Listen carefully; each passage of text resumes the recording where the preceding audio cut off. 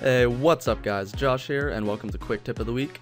Now before we actually get into this, I actually want to give you, uh, thank you all so much because I have finally been partnered by Social Blade.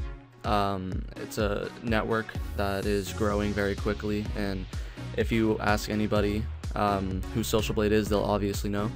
Uh, it's this website that started out that they could tell you your daily video views and any network nowadays um, will ask you to show a screenshot of your social blade so they can see how many daily views you get and how many subscribers you get and how many uh, channel uh, views you get in one month. So uh, I finally got partnered. I want to thank you guys so much for this. It's a huge milestone that I've been trying to get and I've finally achieved it. So thank you guys and uh, let's get into the tip so today we're going to be learning how to make your own brush your own custom brush um, so as you can see here, I have, I have quite a few brushes. Um, they're not that many, but they're the ones that I use the most. Some people have like hundreds and hundreds of brushes. I just use the ones that I really like and the ones that I use um, in all my projects. So we're gonna, but today we're gonna learn how to make our own. Okay, so you're gonna need to go to File and then New,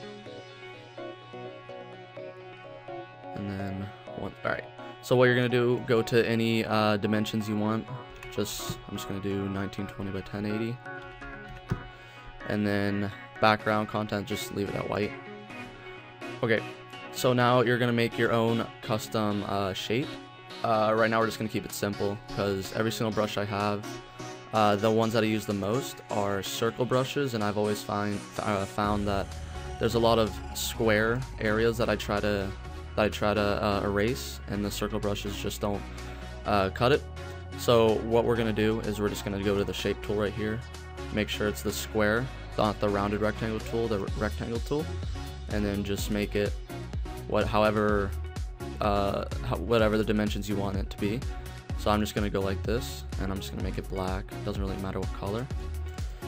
Okay, so this is really quick and simple. You just go like that. Um, just rasterize it just in case, and then you're gonna delete the background. I always use this. I always delete the background just, uh, just for no reason. There's just, it's just for, uh, just for show, just for making sure that you can see what you're doing when, while you're making your uh, brush. Okay, so now what you're gonna do is you are gonna go to Edit, and you're gonna go to Define Brush Preset.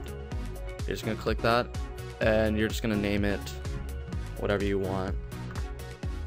Okay, so I just named it square. Now we're gonna go to new, and then same thing.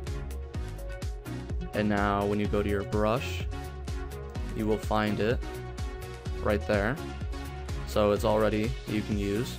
And now all you have to do is just depict what size you want. So I'm using 277. Alright, and now it's a brush. So and you can also use eraser and you can just use the same thing. So 284 you can just erase everything which I don't know why it's doing that. Oh sorry. And yeah so uh, this is a pretty quick tip. Uh, again guys I want to thank you for the achievement that I have that I've gotten for becoming a partner. Uh, I'm gonna take I'm gonna make sure that my videos are up to qual or uh, better quality uh, instead of quantity. So also, guys, I'm also going to try to upload more often.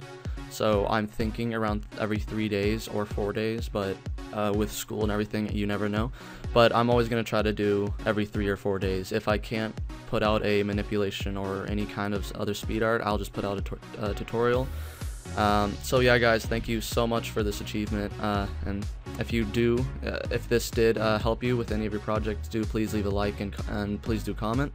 And if you, uh, guys, if you want to learn anything any more about Photoshop, Adobe After Effects, and Cinema 4D, please do subscribe. Thanks, guys, and I'll see you later.